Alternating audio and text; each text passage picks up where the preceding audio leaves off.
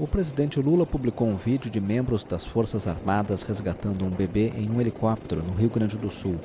Nas imagens, é possível ver um agente batendo no telhado de uma casa com um tijolo para retirar o bebê, enrolado em um cobertor. O resgate ocorreu em Bom Retiro do Sul, na região do Vale do Taquari.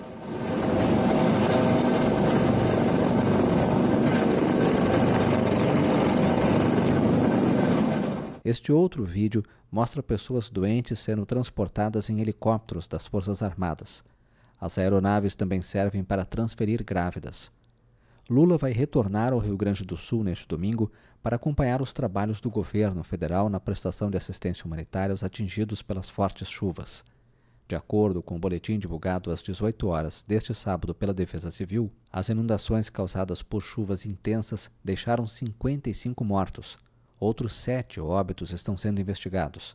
Pelo menos 74 pessoas estão desaparecidas. No total, 13.324 pessoas estão em abrigos e 69.242 estão desalojadas, na casa de parentes ou amigos. O transbordamento de cursos de água e os deslizamentos de terra mantêm inúmeras estradas bloqueadas no Rio Grande do Sul, com 317 municípios afetados. Em Porto Alegre, o nível do rio Guaíba superou a cota de inundação e ultrapassou 5 metros na manhã deste sábado. A água avançou sobre ruas e avenidas. O centro histórico e vários bairros estão alagados.